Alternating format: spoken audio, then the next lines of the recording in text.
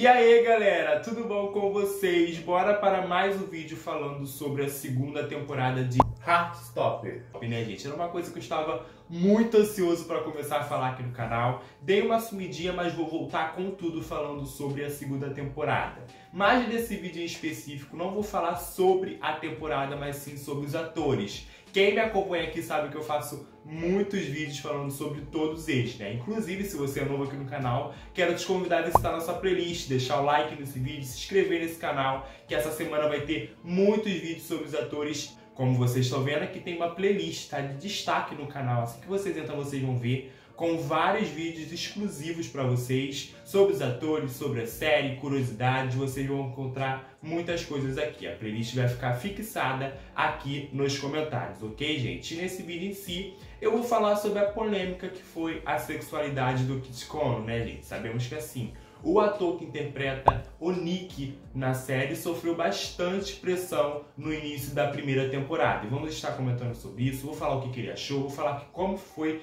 para ele se assumir, né? Para quem não sabe, o ator acabou se assumindo bissexual. Temos muitas coisas para poder comentar neste vídeo.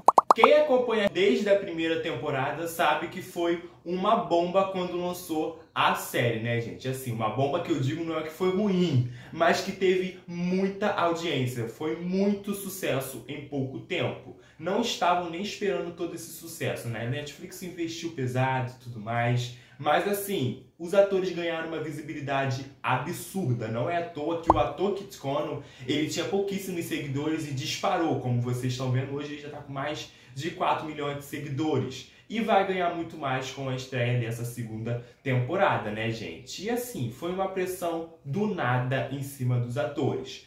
Obviamente vocês sabem que séries LGBTs né, chama um público LGBT e também um público muito jovem.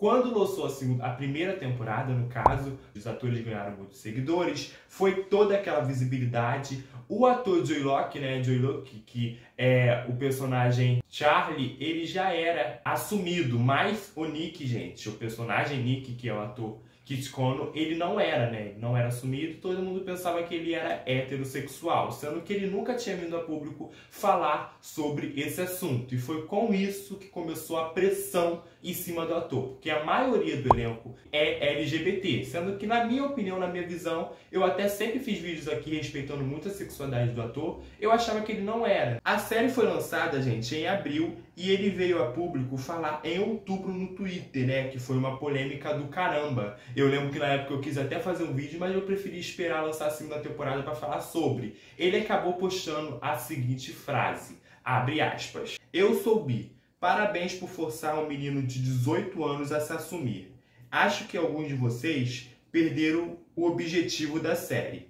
Ponto. Tchau. Fecha aspas. E com essa declaração fica claro que ele teve uma puta pressão para se assumir, né, gente? Muitos fãs forçaram ele a fazer isso. Obviamente, a maioria dos fãs da série que eu percebo aqui, o meu canal, tem muitos fãs da série que me acompanham, que amam os vídeos, inclusive me seguem lá no Instagram.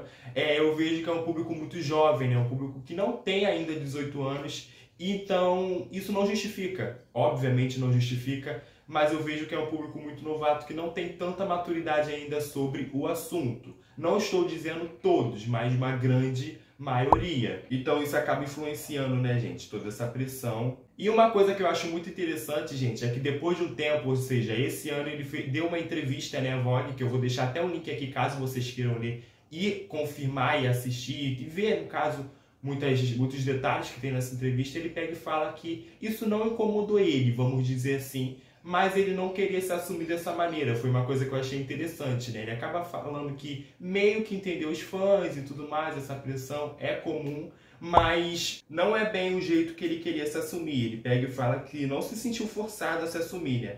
Mas queria fazer isso de outra maneira, não dessa maneira, vindo a público no Twitter com pressão e falando sobre o assunto. E ele também fala, gente, que a família dele super apoiou, super levou de boa. Uma coisa que eu acho muito legal, muito interessante também, né? A família apoiar nesse momento, mas na escola não foi tão assim. Não foi tão aceito assim, vamos dizer assim. Na entrevista ele pega e fala que ele estudava numa escola muito heteronormativo, né, gente? Então, ele não foi tão bem aceito assim. Ou seja, uma escola que tem muito héteros. E sabemos que quando se trata de uma mulher bissexual, as pessoas levam de boa, né, gente? Mas quando se trata de um homem, as pessoas não levam de boa e infelizmente tem muito preconceito em cima disso. Então eu vejo que ainda temos muito que mudar, né? Pensamentos, jeitos e tudo mais. É uma coisa que eu observo muito e ele acaba falando muito sobre isso, né? E diz que não foi tão bem aceito assim na sua escola. E uma coisa que eu tinha dito lá no início, gente, é que a maioria do elenco é LGBT, né? Então ele foi muito bem acolhido quando ele se assumiu. Até porque ele meio que se encontra em família, né? Ele já era muito é, unido com o Joy Locke, com o resto do elenco, né? Quem acompanha eles no Instagram e tudo mais, vê que eles sempre estão em paradas, é, em vários eventos muito legais. Então, isso assim, foi uma coisa que acabou prendendo ele, né? Prendendo o que eu digo é que ele foi acolhido. Ele tem amigos assim, inclusive da série. Então é uma coisa que eu achei bem interessante, ele ter esse contato com o elenco de Heartstopper. Eu achei muito legal da Alice Osman, né? Que é a diretora da série, fazer isso, puxar um elenco literalmente LGBT. Não são todos que são, mas a grande maioria, 90%, é sim. E nessa mesma entrevista na qual o Link está aqui, gente, ele pega e fala que não quer ser rotulado como um ator LGBT, né? Ou seja, um, um ator que só faz papéis LGBTs. Não, gente, ele quer ser englobado em tudo. Papéis héteros, papéis LGBT, enfim, várias produções. Não quer ficar só nesse mundo, porque percebemos que muitas pessoas já têm ele como Nick, né? Já vê ele como Nick e apenas isso. Ele não quer ser rotulado apenas fazendo um papel específico. Ele quer englobar todos, todos os trabalhos, todas as produções, enfim, ele quer ser um astro de sucesso e não ser rotulado como ator específico sobre um assunto. Ele até fala que não quer ser rotulado como galã, né, gente? Mas eu acho bem difícil. Porque vemos que o ator chama bastante atenção nas redes sociais, chama bastante atenção na série, né? É uma coisa que não tem como ele evitar. Mas o ator está muito bem, galera. O ator está muito bem aceito, graças a Deus. E que venha a terceira temporada. Ainda tem muitos vídeos para sair sobre essa segunda temporada. Gente, vou fazer maratonas de vídeo todos os dias aqui para vocês. Eu espero que vocês estejam aqui para assistir. Caso vocês tenham alguma dúvida, me chama lá no Instagram, que é arroba do Breco, que eu vou estar respondendo todos vocês. E enfim, gente, essa é a história, né? Não digo nem história, mas esse é os comentários que eu tenho para fazer sobre isso. Foi uma polêmica, mas acabou dando tudo certo e hoje o ator está 100% de boa, né? No início teve uma pressãozinha, mas já está de boa, isso que importa. Um beijo e obrigado por assistirem esse vídeo até o final. Não deixe de passar na nossa playlist que está fixada aqui nos comentários. Tchau!